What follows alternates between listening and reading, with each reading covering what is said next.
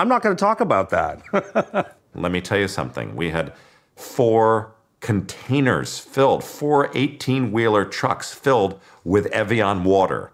But I had left the week before for two days to go to meetings in Bermuda for the America's Cup. And when I came back, I'd missed the big meeting with Customs. And of course, Customs had said to Billy and the gang, you need to pay us $175,000 in cash today for us to release the water. I went down. Well, Billy called me. I'm going to speak completely, um, you know, this won't go that far, I'm sure, but Billy called and said, Andy, we need you to take one big thing for the team. And I said, Oh my gosh, I've been taking something for the team every day. He said, Well, you're our wonderful gay leader, and we need you to go down. Will you suck dick to fix this water problem? And I said, Billy, what?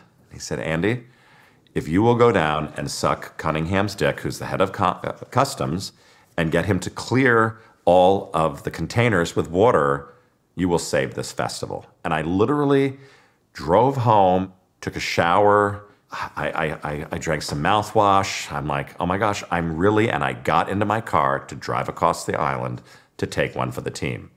And I got to his office fully prepared to suck his dick.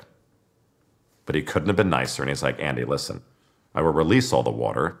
I will let you serve it, but I want to, want to be one of the first people to be paid this import fee for what you're doing. And I said, okay, great. And I got back and I had all the water that we needed. Can you imagine in my 30 years of a career that this is what I was going to do? I was going to do that, honestly, to save the festival.